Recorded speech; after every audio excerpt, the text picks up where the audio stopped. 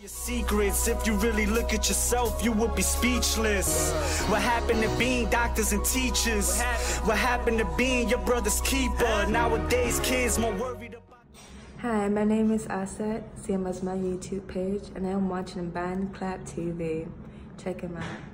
You're in the mix. With the dj always banging the real hip-hop. Dj band clap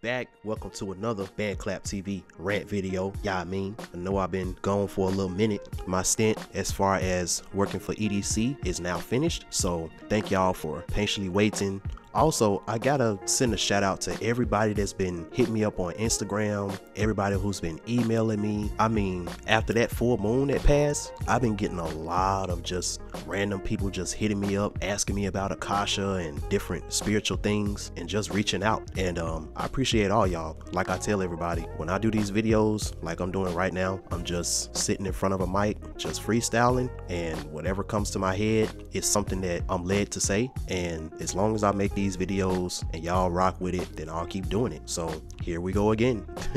Hope y'all like that remix that I did too. Shout out to uh, Sister Offset for that wonderful intro. I wanted to switch it up for y'all and show y'all that I got different um, varieties with the way I DJ. That was a little electronic uh, dance remix that I made. And if y'all want to, y'all can definitely put some suggestions in the comments of some different songs that you would like to see remixed. And if I can find the resources to do it, I definitely wouldn't mind doing it because this is something that I want to start doing for most of my rant videos, just so I can add a little distinction between my rant videos and my actual podcast. So shout out to everybody who commented and watched my video that I did about what type of dreamer are you. And speaking of that, I've been having some very, very crazy and vivid dreams. One of which that I'm gonna share with y'all on this video because it really ties in with the subject that everything is definitely not what it seems. So I just want to first just kind of make y'all abreast to what I've been going through as far as um, we're doing this EDC gig, and um, that's with the pictures and the videos that you're seeing right now. And um, I just want to kind of shed some light on the experience that I had while I was at EDC.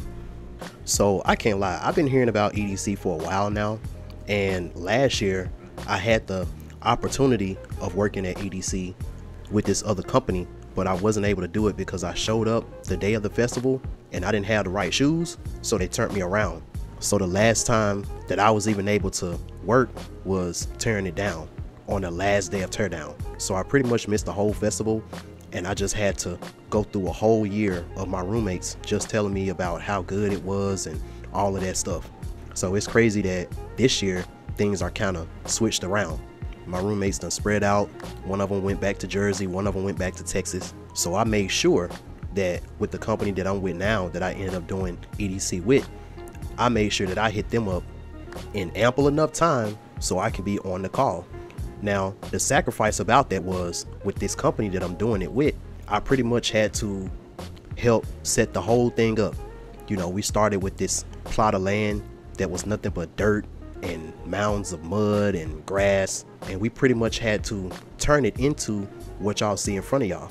And i can't lie there was some very grueling days you know 10 hour days 14 hour days working under 90 degree weather picking up steel making those tents and putting together the stage and all of that you know it was real real hard work. But the result of that was i was blessed to be able to get on show call and with me being on show call, that means that I'm working at the festival, but I'm still able to have a little fun while I'm working. So I got the super, super wristband that I like to call the Master Key. Because with this wristband, I was able to go to any stage, backstage, VIP, pretty much anywhere that I wanted to go. But it was kind of an honor to get that wristband because of all of the work that I had to put in. So as you can see, I was very, very psyched, you know, when I was finally able to go to the festival and enjoy the fruits of my labor. So, with me being in such of a hermit mode all of this time, I didn't realize how antisocial that I became until I went to that festival. So, even though I was having fun, I was starting to kind of feel out of place because it's been a long time that I've been in an area with this many people around at one time. Cause since I've been on this grind trying to get this money, I ain't been going out downtown. I haven't been going to no clubs, none of that type of stuff. It's just been strictly work and go home. So my inner child thought of a really, really fun idea to play a game. So the game was I'm gonna go around the festival and see how many women that I can take pictures with. Because before my roommate left, he gave me this Halloween costume, which was pretty much a gladiator type of outfit that came with a cape and a shield and a sword. And I wasn't able to wear it on Halloween because I was working. So I'm like, you know what? This will be the perfect time to put this on and see how many pictures I can get. And as you can see in the pictures that you're seeing, I didn't really get any pushback from none of the women. The only ones that I would get pushback from were the women who had boyfriends. And even then, the women would want to take a picture, but the boyfriend be like, nah, nah, I don't want her to take no picture with you. So that's why you see me taking pictures with a lot of women and stuff like that. Because I'm really trying to come out of this hermit mode that I've been in. And for a minute, I thought that was the reason why I was feeling out of place. And it started to seem like the more the full moon would come out, I would just start to feel more and more and more out of place. And then I started to feel emotionally out of place. So anything that deals with my emotions, I know that it's my inner child trying to tell me something. So I go within while I'm walking around and I start to see things through the eyes of my inner child. Now, mind you, pretty much the festival in its entirety was just about being yourself and just being free. So you had signs that were saying free love and free this and free that. You know, you saw different races, different creeds, different types of sexuality going on. And it was just a big melting pot of just everybody pretty much doing what they want to do. But when I looked at the area that I was in, in the eyes of my inner child, I could just see an area with trees and stuff like that that resembled the fairy kingdom. And then I would see the loud shock waves of the bass from the stages and stuff like that, and from the speakers that were in the towers above. And I would see these lost spirits that's just walking around, and some of them resembled fairies. And I could just hear my inner child trying to yell out and see does any of the fairies want to play. But they were so lost in the music and they was lost in their own little world filled with confusion that they couldn't even hear my inner child trying to yell out to them and get their attention. And so my inner child, being that Elegua and that Eshu, started to get confused. Because see, where he's from, not only did he learn a lot when it comes to surviving in this world from the fairy kingdom and from the fairies, but he also used to play with them a lot. I mean, since he was out at the crossroads in nature, the fairies were like his best friends the light ones and the dark ones. And don't ask me what their name is because when I listen to my inner child talk, it just sounds like baby babble. so the more my inner child would seemingly get rejected by these spirits that resemble fairies, but they weren't, he would kind of feel a certain type of way. You know, kind of like when it's recess and you got this kid that's at the sandbox with all these toys and he see a whole bunch of kids that's walking around in the playground, but they all look like zombies but they don't got nothing going on as far as they're not playing with anybody or anything like that. They just walking around, running around, but they look zombified. And my inner child got all these toys in the sandbox and he's just looking for somebody to play with, but nobody can hear him because everybody is hypnotized and in their own confused little world. So that's when I had to sit my inner child down, going within, and tell my inner child that the things that my eyes see and the things that my ears hear sometimes, you can't internalize it and believe it to be true because this world that we're living in is nothing but an illusion. Like I said in my last podcast, it's nothing but a dream. And in your world, where you was playing with the fairies and everything was the way it was, that's where the reality really is. And see, when you're dealing with your innocence and your inner child, your inner child doesn't really understand that type of stuff. It'll just give you that inkling inside and let you know that something is just out of place with the situation that you're in. And this is the reason why you got to know yourself. And this is the reason why that you got to have that knowledge so you'll be able to understand why you're feeling a certain way. So then I really started to think about freedom and I really started to think about what does freedom mean for a soulless person and what does freedom mean for a person that has a soul. And what I came up with is when a soulless being is free, it searches to find itself. And then when it run across a solar being, something that it is not, and it starts to wonder, what is it that's about this solar being that makes it so great? And what can I do to be like that solar being? And then it goes throughout life and goes through its stages of enlightenment just to find out that the answer is to obtain a soul. So it's a whole adventure. Now, with the solar being, it's a little bit different because when a solar being finally gets free of whatever programming that it's been imprisoned in, now the solar being has to go through that process of remembering. And since it has a soul that sees all and knows all, all that solar being has to do is to go through his or her stages of enlightenment to go within and rediscover what's already inside of him or her and the greatness thereof. And pretty much once that solar being figures out who it is, now that solar being has one or two choices. They can either stay in this world and rule as the kings and queens that they always was meant to be, or B, they can choose to transition and go to their next plane of existence. Now, what does this have to do with black people and white people? Well, funny you may ask because I've been teasing for a minute that I was going to do a podcast talking about the origin of race and stuff like that. And I feel like I'm going to touch a little bit on that for this one. Now, Hathor Uncle she made a video talking about um, Madame Brigitte, and she was pretty much talking about the origin of how a certain type of white-skinned race was created. And also, Oni Osaru, he talked about the creation story with Yaldabaoth and Mama Sophia and all of that. And then you have Bobby Hemmitt, who talked about both of those things combined a long, long, long time ago. And see, a lot of this stuff for me, it just didn't make sense to this moment at EDC for some reason. So the way I interpret it was, and I remember Phil Valentine talking about this a long time ago. The original gods who was able to go through the cosmos as well as travel through the dimensions of this world and all of that stuff. The original gods, their color was green. Now, I feel like this was back when we as a people were fully plant based. So we had a lot of that chlorophyll in our bodies and we pretty much transcended this dimension. You know, we could go in and out whenever we wanted to, however we wanted to. We had supernatural type of powers that only one can truly dream of. But the more and more we got stuck down here in this dimension, on this planet, with this climate, and with this sun.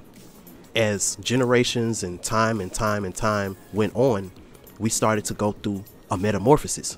And depending on the climate that you was at, your skin would either be golden bronze, it would either be yellow or black or just brown. Now, in some creation stories, you got the story of Yakub, and he wanted to create a certain type of race that'll be able to have dominion over a certain type of time frame, and these people were to end up being the stewards of all of our ancient information so that when the gods come back to earth, they'll be able to retrieve that information. So, using a recessive albino black person with some gene splicing, with some other different things that are of the earth, created what we know as the Anglo Saxon white man and Anglo Saxon white woman that came from the Caucasus Mountains. Now, when this so called Yakub created these race of people, he figured that since he didn't give them the same type of cosmic melanin that we have to be able to access and really be able to use and fully, fully understand our ancient knowledge, that everything will go as planned. All they had to do as time and time and time went on is to just civilize them, teach them about standing upright and how to bathe, how to civilize themselves, how to create infrastructure, businesses, governments, armies, kings and queenships, and last but not least, to bring them around us, solar beings, and kind of show them how we used to live so that they can have a sense of purpose that this plan should go off without a hitch. Because see this so-called Yakub knew that there was going to come a time where our souls are going to go into a deep slumber and while our souls is in this deep slumber, we'll be identical to them. And we're going to have to pretty much depend on them to be able to reteach us the information that we taught them. So that way, when it's time for the awakening, we can rise back up and reclaim our power. So, a good way to look at it is, and I said this before, the solar beings with cosmic melanin are the oldest people on this planet, and the soulless beings with white skin, because I told y'all before, not everybody that got white skin is a soulless being. But the soulless beings with white skin, they are the youngest race. So as a people, we looked at them as our children that we had to raise up, civilize, teach them how to do certain things and how to carry themselves the way we used to carry ourselves. So that maybe they can be fruitful and multiply in a loving and charismatic and joyous type of way. But see, the cons of not having a soul far outweigh the pros when it comes to not having a soul. Because when you have a soul, your capacity of love and compassion and all of those things that has to do with your heart chakra is just that much more powerful. And you feel a lot more pain and you're able to empathize and feel things in a way more sensitive and powerful type of level because you got a soul. And our soul is what made us so loving and so giving and so charismatic and so cordial as a people. Now, I'm not gonna sit up here and say that everything back in those times was perfect because we had our own share of fuckery and chaos too, because melanin, that's what melanin is. But the chaos is beautiful and it's a part of life, it's a part of nature. Death, rebirth, growth, all of those things wrapped in one. But see, we slowly, slowly start to learn what a grave mistake that we made by not giving these beings a soul. The more our souls go into that slumber, because see, these soulless beings yeah, they know about civilization and all of that stuff, but when you don't have a soul, you don't look at my land as your land and we can dwell here together in balance and harmony. No, you look at it as this land is my land and I want your land, so I'm gonna kill everybody in your land and conquer it on some barbaric shit and then I'm gonna build my settlement here and then go all around the world and try to do the same thing. And anybody that stands in my way, we're gonna kill them, enslave them, and all of that. So the first thing that the soulless beings start to do is to start going around, burning up all the libraries, burning up the Alexandria library, trying to get rid of all of that ancient information that they were taught. Because see, when you have power and you have a really, really big ego like that, and you don't have an inner child, you don't have a soul to be able to tell you that what you're doing is not right, then you just go off on the deep end to the point of no return. And this is what happened. So once they did that, and then they started to enslave the solar beings and made really, really good sure to hide and to destroy all of our ancient information that we had and then whitewash the information that's still here. Because see, the soulless beings, they already know that our spirituality is one of the most important things that defines who we are. And if they can put their face and their likeness on that, then they're gonna look at themselves as an offspring of a soulless being, and that programming is gonna last with them from generation to generation to generation. So then while all this stuff is going on, they take the system that we had that we taught them because at that point in time, the solar beings was the supreme. But see, we operated out of love and we operated out of our natural currency. We operated off of nature and balance. Whereas the system that the soulless beings created, they pretty much took everything that requires you to have a soul out of it because they don't have a soul. So they can't even connect with that type of stuff. So what do you do when you got something and you can't connect with some of the components that's in it? You throw it out.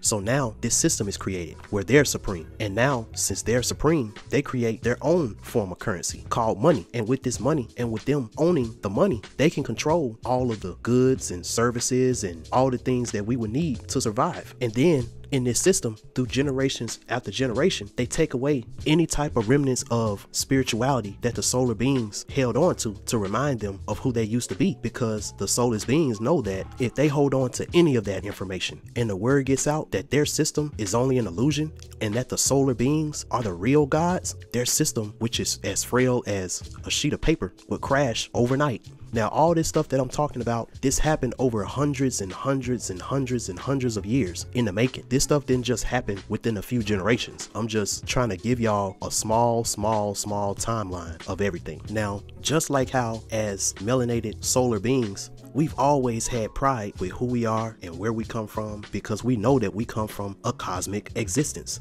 Now, since the soulless beings, they pretty much know that the final stop for them is to obtain a soul, and they know the beings that created them. They spend their whole existence as an opposition to the solar beings because of that. So they have the utmost pride in who they are and where they come from, which they can't really trace nowhere deeper or nowhere farther than this current earth that we're on. They don't have a cosmic existence. So, since our goal is to transcend from this world and go to the next world or our next plane of existence, the goal of the soulless beings is world domination. Because since that's all they know, that's all they can really control. And since they don't have a soul that's about love and all of that, they're not as connected to this world and to this earth as we are. Going back to the festival, See me with the wristband that I had, I seen that festival in a whole different light because I was there while everything was just a plot of mud and grass and I was literally instrumental in putting that whole festival together. So when I saw the finished product,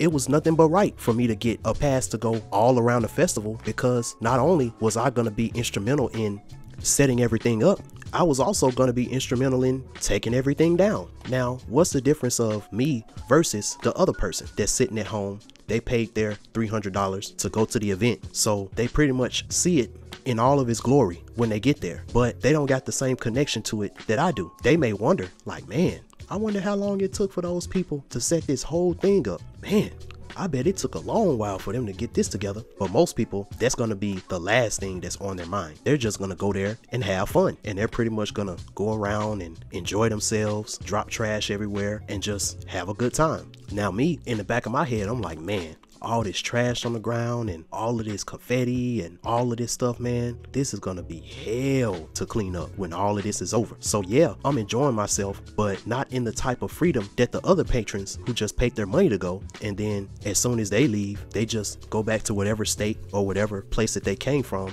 and just save up for next time. So this explains why these soulless beings can chop down the trees and build landfills and garbage disposals in the ocean where it's poisoning the water and killing all the animals and being able to make these factories and these buildings putting all of this smoke and fog into the air making these GMO foods and putting chemtrails in the sky and building these radioactive cell phone towers, 5G towers, and all of this stuff that's pretty much killing the planet. Because since they don't got the same connection to this planet that we do, they pretty much know that when they die, they just check up out of here and then they reincarnate as something else or someone else. But we know that when it comes to us solar beings, it's gonna start with us and it's gonna end with us having to clean all this stuff up. So when it came to breeding, this is the reason why I said that not everybody who has white skin is a soulless being because through the act of breeding with solar beings and re-interbreeding with white skinned people, just like how Hathor Akhenaten was saying, you do have beings whose skin may be super super light, but they have a soul. Now their pineal gland may be a little calcified, but that doesn't mean that they don't have a soul. But when it came to the soulless beings trying to get that world domination, the biggest thing for them is to be able to keep that race pure. Because if they don't keep the race pure and they let too much of that solar being blood into their race, that too is going to make the system topple over. And these are some of the things that our ancestor, sister Frances Cress Welsing, used to talk about a lot. So the men they understood this, but they knew that when it comes to the women, if the women get too much knowledge, it's going to become a problem. And they're going to start setting out to look for those solar beings to intermingle with them so that way they can create some children who have a soul and they'll be able to survive and go a lot further than they could go. And this is the reason why the soulless being man had to really, really put his foot on the neck of the soulless being woman to try to keep her in line with his plan. But the more those soulless beings intermingled with the solar beings, the women started to really figure out what they was missing and the men started to figure out what needs to be missing from the culture of the solar beings so they would never find out who and what they truly are. So when we talk about spirituality, now as solar beings, we always had magic on our side. And with that magic, we'll be able to do little small remnants of the things that us as gods used to be able to do, but just on a weaker, smaller, but still miraculous type of scale. And we had a very, very wide array of energies that we can work with because we had dominion over space and this dimension. So we had things like the Orishas, which the more and more I look into this, the Orishas are in the same realm in a lot of ways as the fairy kingdom, which means different spirits and deities and energies to help us to make this earth that we're living in a more comfortable place for us while we're here. Now, you got some Orishas like Oya and Eshu and even Obanani who can take you to the dark side and we had a lot of dark magic that used to help us with different things too. And the more during slavery we would link up and we would be pretty much linking up from different cultures and stuff like that, we would be able to learn different things, learn different spiritualities and learn different spells and learn different drum techniques and stuff like that from each other. And for a long time, we will be able to use that black magic to set ourselves free. But the more and more and more things went on, and the soulless beings started to catch on to what we were doing, he would do the best that he could to ban and kill off our spirituality and reprogram us with their spirituality and their religion.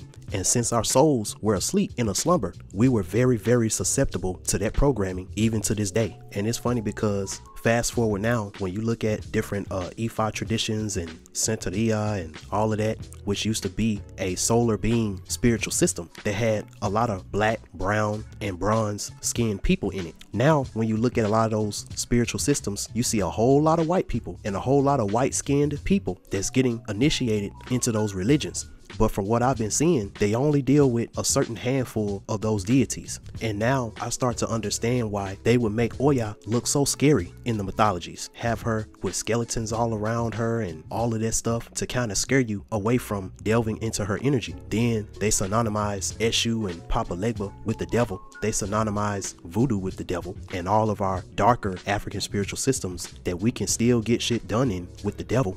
They synonymized it all with the devil. And when it comes to the fairy kingdom, and this is something that my inner child pointed out, when a person with white skin, whether they're a soulless being or they're a being with a soul, but their pineal gland is calcified, and they start trying to find themselves and they start going up their stages of enlightenment since the fairy kingdom, at least part of it, is a part of this illusion, part of this world, part of this astral realm that we're living in, a lot of them the farthest that they can go is the fairy kingdom, which leads me back to when I was seeing the EDC crowd through the eyes of my inner child. It makes sense because in the fairy kingdom, you see fairies with white skin that look like Tinkerbell. You see all different types of interdimensional type of beings that almost look as small as a mosquito or as big as a moth, depending on where in the fairy kingdom that you're at. Because these fairies are part of the many, many, many life forms that we have on this earth other than us humans. And they're all here as tools to help us out when it comes to navigating through nature, navigating through the astral realm, navigating through different dimensions on this earthly plane that we're living in, and just to help us understand more about what this place is that we're living in. And like I said, I really, really hate that they took Tiffany Messenger page down. Shout out to Masterly Foolish because you can type in Tiffany Messenger on Masterly Foolish page and he got a lot of her videos still up and that's pretty much the only remnants of her that we still have. So I really just want to keep her message alive I emailed her not too long ago, and I really hope that wherever she is or whatever she's doing, I just wish her the utmost of peace and love and prosperity and all of that. Now, us as solar beings, you have another part of the fairy kingdom, which lives in the dark side of the tree of life. Some people call it the Qliphoth, all of those things. Now, these fairies, since they've lived in darkness their whole existence, they don't look the same, they don't have the same type of functions, and they don't act the same as the fairies that are on the light side of the tree of life in the fairy kingdom. Now, this is where you get your Palo Mayombe from. This is where you get your Kimbanda and Zarabanda. This is where you get the realm where the Erzulies are at, and all of those dark parts of our African spirituality that only a solar being with a soul that is fully unlocked can even enter at. Because if not, it'll devour you and swallow you whole. At this side of the fairy kingdom, these are where you get your Goetias at, the 72 Goetias. This is where you get the dragons and all of these other different entities your gnomes and your ghouls and all of these things that you were taught to be scared of in Halloween. But these are the beings that can help you in ways that the fairy kingdom wouldn't even be able to help you because all of these beings that I just talked about, they all dwell inside of your melanin. So you having a soul, all of these beings live inside of you. Like I said, you just got to unlock them. And the more and more they start to come online, the more and more powerful you're to start to feel. But see, to keep you away from this stuff, the soulless beings start to create their own form of language where their words are spells and spells that have a certain programming in them that make you react a certain way. And when you react a certain way, you start to see things in their perspective which takes you away from your God self. For example, anything that's not of this earth is not going to look like something that you would recognize straight off, just like with these Goetias and stuff like that. But see, there's an English word that we've been programmed to give a certain type of response to, and that word is monster. So when you think about a monster, what's the second thing that you automatically start to think about as far as a reaction. Fear, being scared, being afraid. So when you see a monster, the first thing in your mind to do is to start screaming and be afraid and have fear.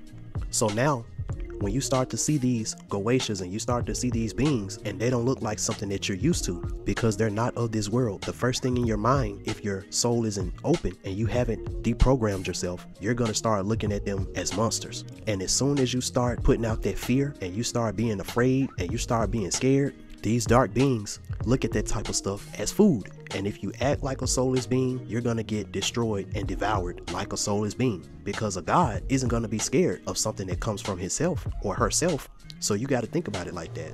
So all of these things that we've been taught and we've been programmed is to keep us on the same level and in the same frequency as the soulless beings. And then on top of that, they talk about how the green man is some type of alien who's gonna kill us and invade us and destroy us and all of that. And the messed up part about it is you got people that look like us that believe that crap when you can't see the deception that's being played. That those green beings that they're talking about, that's nothing but us. That's nothing but our ancestors. So when you talk about all of these white people in a frenzy because they're talking about it's about to be the end of the world and they're trying to go underground and they're trying to move to another planet and all of this stuff because the aliens, the green aliens, are about to come and invade and destroy the planet. What they're really trying to say in their own words is with this age of Aquarius and with us solar beings awakening and elevating at such a higher rate, the more we do that, the more of a beacon that we set out for our ancestors to come and restore balance to this plane that we're living on. And this is something that they dread to happen because when we figure out and we remember who we really are, and then we start to see how inferior the soulless beings as well as their system really is, and we start to see them as those bad little bratty kids that made a mess, and they know better because we taught them better. And what do you do to a bratty kid that made a mess and they know better? Yup, they get a spanking and they get on punishment. And those are the two things that they do not want to happen. Now, when it comes to a lot of the women, they got smart and they started to rebel against the soulless being man. And there was this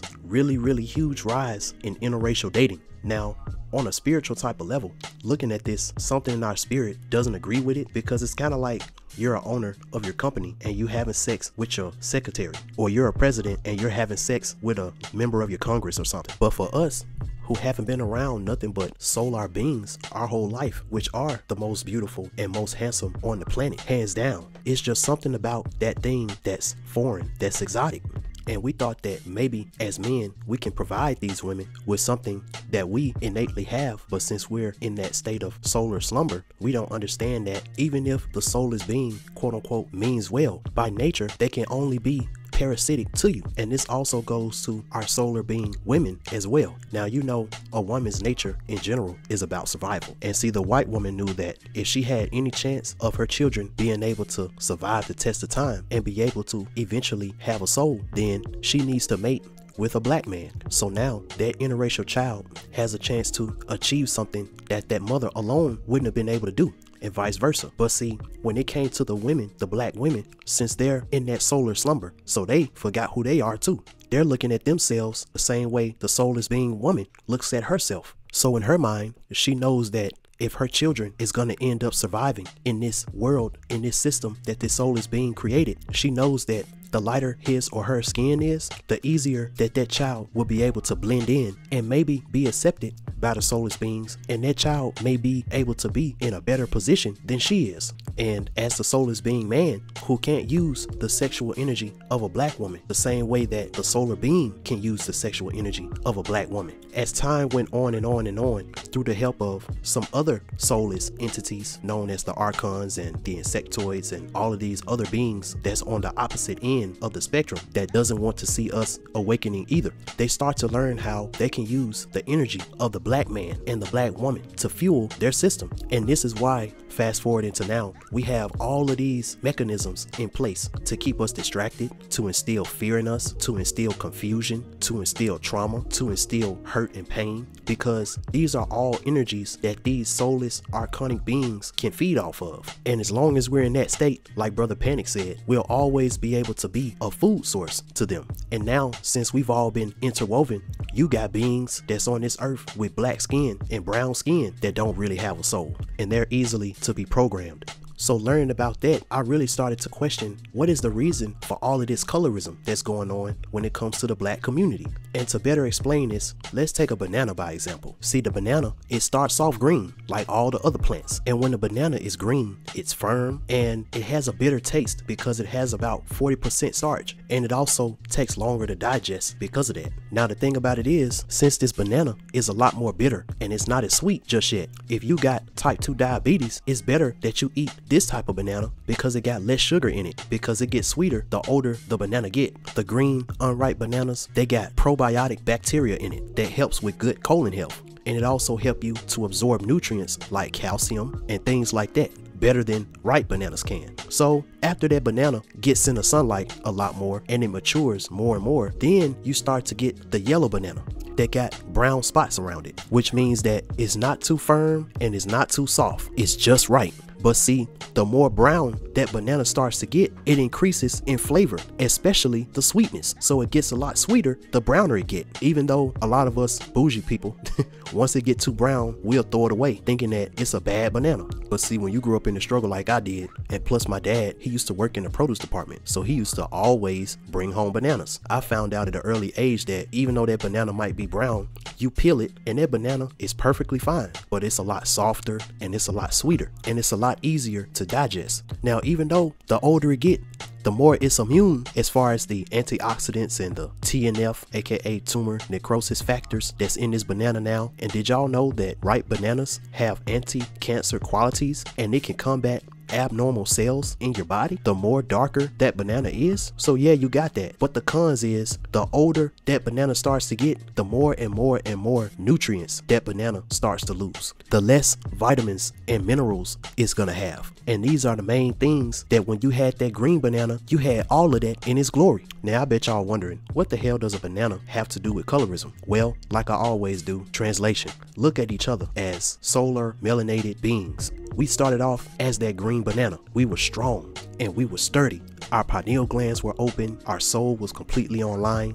We were 40% human and 60% etherical. Those vitamins and those nutrients represents our spiritual powers that were online. And since it took super super long for this atmosphere to quote unquote digest us, we could come and go as we please. We were tall and gigantic and we ran things on an intergalactic type of level. But see, the more we got into this atmosphere too long and the more we succumbed to this sun too long, our skin started to change. And depending on the climate that we were in, we would either be yellow or we would be bronze, we would be brown, or we would be black. And just like that banana, the older we got on this earth, the more immune we got to things of this earth as far as diseases and things like that. But at the end of the day, it came with a loss because all of those great powers that we used to have, being able to do things at will, that a lot of us have to take lifetimes and lifetimes going through stages of enlightenment for us to get those remembrances of those powers back. Us being on this earth, these are all the things that we sacrificed and all the things that we lost our remembrance of the more we forgot about who we were. So it's like when I see black people and brown people and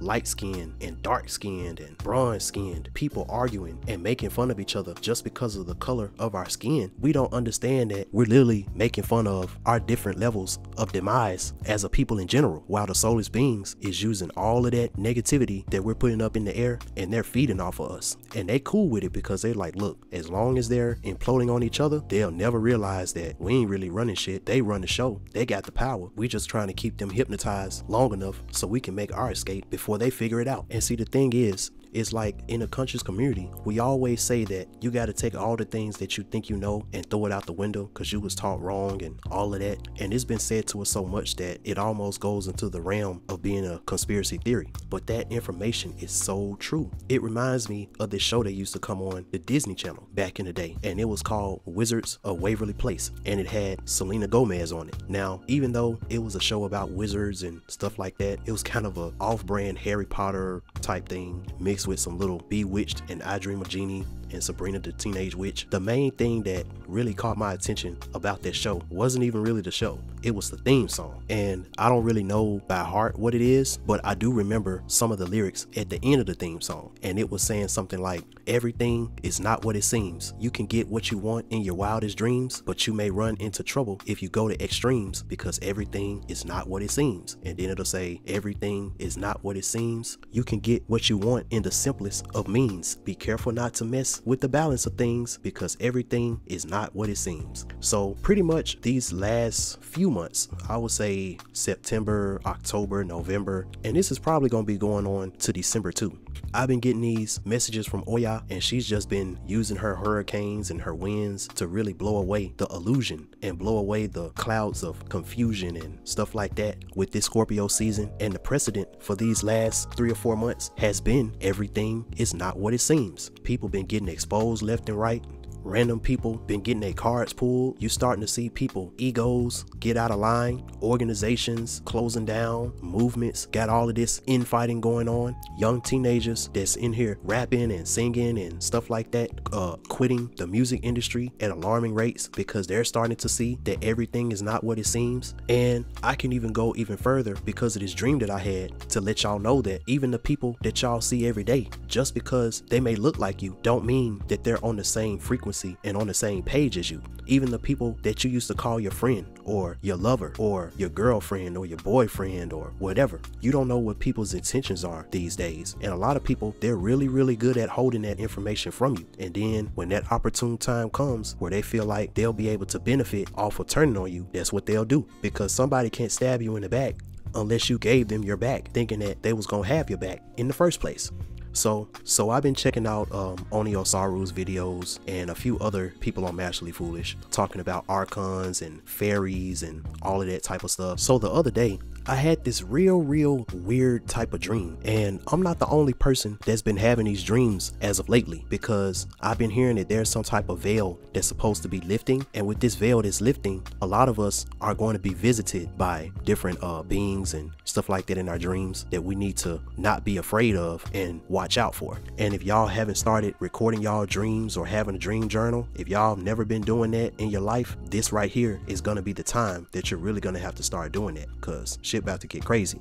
So I had this dream where me and my dad we was walking into this Dollar Tree and my dad he went to go get a few things and then I went to go get these um fudge pops because that's my favorite type of ice cream is those brown fudge pops. So i went and grabbed some of them. And while me and my dad was in the checkout line we see these two cops who were undercover loss prevention agents gaffling up this one dude and using all of this excessive force just because i think he probably stole some stuff out of dollar tree. But they was really really like beating him up and using all this excessive type of force. And i'm like damn like all of that just because he stole a few things out of dollar tree like probably like five or six dollars worth of stuff?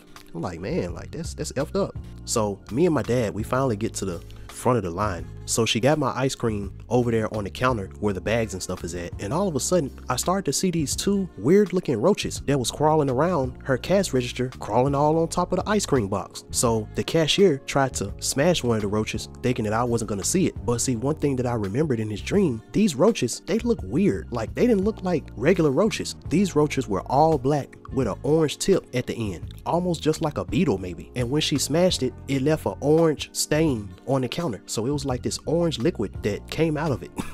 it was weird. And then the other roach started flying, so it flew away. So I told the cashier I wasn't finna pay for that ice cream because y'all got roaches back there. And one of those roaches crawled on my ice cream. So she tried to deny it, and everybody in the line thought that I was just holding up the line until one of the roaches crawled out and they saw it. So she was like, Well, if you want to, you can go back to the freezer and get another box of ice cream and bring it back up here. So I was like, all right, cool. So for some reason, there was a long line going to the freezer. So I'm standing in the line going to the freezer, and all of a sudden, I hear a voice behind me say, Put your hands behind your back, sir. Put your hands behind your back. And so I start to look in front of me and I start to look behind me, and it was those same two police officers that was gaffling up that other dude. So in front of me in the line, it was a regular looking police officer. But behind me, it was this tall black dude with a bald head with a full black and gray beard. He had on this silver type of suit with a red tie. Now he didn't have on the suit coat, but he had the suit pants with the shirt and the little silver vest or whatever with the red tie. And I guess he was a loss prevention guy that was like a plainclothes agent, I guess. But this dude looked so well off and so well to do. I was like, man, why did you choose to work at a Dollar Tree? That was weird. So I'm like, yo, I'm not finna put my hands behind my back because I didn't do nothing wrong. And the dude was like, yes, you did. You walked out the store with that ice cream. And I'm like, huh? I didn't walk out the store with the ice cream. What you talking about? The ice cream is still at the counter. I'm just going back over here to get another box of ice cream because it was roaches crawling all over the other one. But the thing about it is, they was really, really trying to frame me like I was stealing. But since I know I didn't do nothing wrong, I wasn't angry or nothing like that. Like I was just super calm. They was like, but we saw you, we saw you. And I'm like, what are you talking about? Like you didn't see me do nothing. My dad was in the line with me. So if you want to, you can talk to my dad. He's right there. So once I told them that and they seen that there was a witness on the scene that saw me not walk out the store,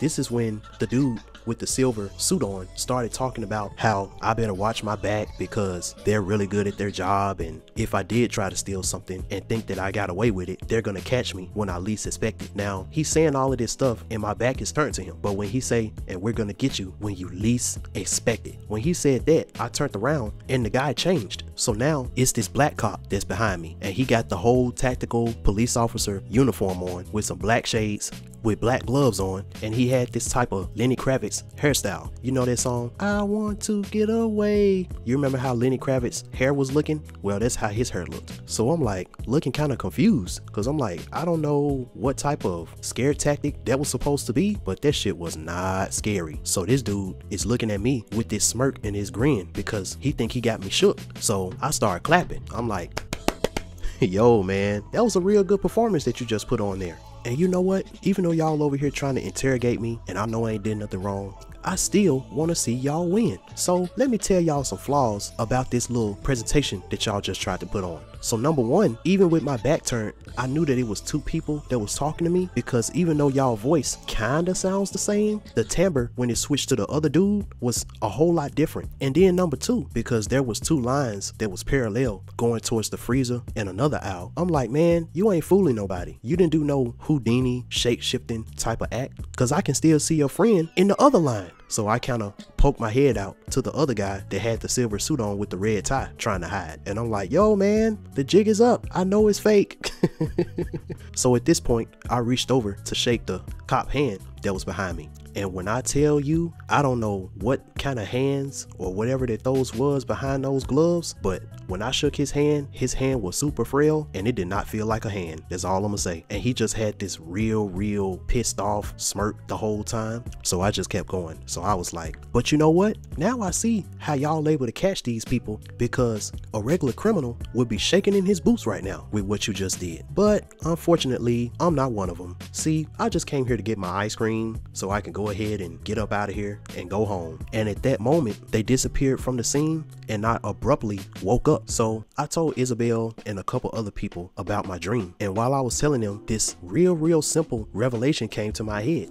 Whatever type of archon that came to me in my dream, it tried to do a couple things. Number one, it tried to rile me up for nothing, even though I knew I was in the right. Because see, if I got angry, it would have gave them a probable cause to use force. Then they tried to scare me. They tried to use a scare tactic. That didn't work because when I'm in the astral realm, I'm really in my higher self more than I am here. So I had no fear. And when I thought about it, all of these things was negative emotions. And if I would have acted in a negative type of way, they would have had something that they could feed off of. And they would have probably gaffled me up and handcuffed me and beat me like they was beating the previous guy that actually did do something wrong. And on top of that, the more that I stayed calm and the more that I stayed balanced and the more that I stayed in my confident state, that's kind of like when you cut on a light and you got a whole bunch of roaches and how they scatter, that's how I was. And they had to flee because they couldn't stay in my essence and they couldn't stay in my aura because I wasn't giving them nothing that they could feed on. So then I started to be reminded of those parables that I would read in the Bible where the devil would tempt Jesus. And see, Jesus would always be in a state where his body was weak. But see, Jesus knew himself and he knew his soul. And the devil would try to tempt him and, and try to make him do things out of fear, out of hunger,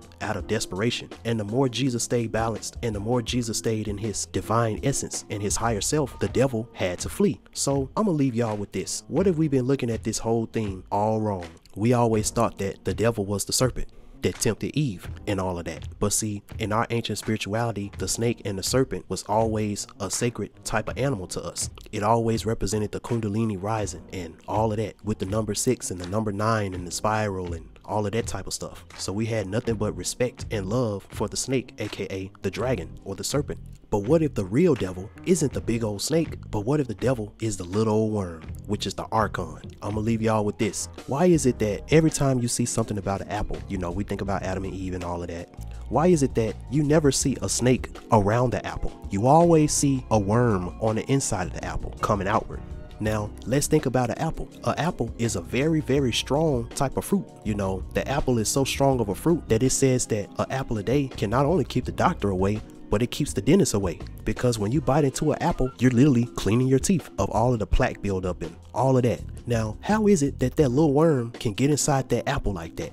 Well, the only way that that worm can get inside of that apple that once was so strong is when it turns rotten. And when the apple turns rotten, what color does it turn? Brown. Now y'all see the correlation with the brown apple and the brown banana and the brown black man and woman. Since we're on this earth, we're at a very, very weakened type of state, meaning that we're susceptible to all of these spiritual parasites, these archons and these maggots and all of these type of entities that can kill this body because this flesh is weak. The Bible taught us that. So this is why this is so so very very important for you to get to know that side of you that's eternal. That side of you that when this old rotten body fades away, this rotten body that's already full of bacteria, this rotten body that can be programmed and harvested by all of these parasitic entities, that side of you that when you shed this body, you'll do what you're supposed to do as a solar being, and that's to transition to your next plane of existence and not come back to this one. Because, like I said in my last podcast, this life is only but a dream, and everything is not what it seems. So, I know this was a super, super long video, but I feel like I'm justified since it took me so long to make um, a video. Shout out to everybody who listened all the way to the end and look at this as a part two to the what type of dreamer are you because I'm not done talking about this. I may end up making another rant video of this type because there was still a lot of stuff that I really need to touch on. But yeah, man, just think about that. The next time you want to put down somebody of your own race just because they're a shade lighter than you, think about that banana analogy. And we got to stop judging each other by this physical body that's going to rot away and start getting to know that inner child in us that's going to last forever. So again, shout out to my sister for that wonderful introduction. Thank y'all for tuning in to another rant video. And as I always say, BandClap TV, we out and stay shining. Stay shining.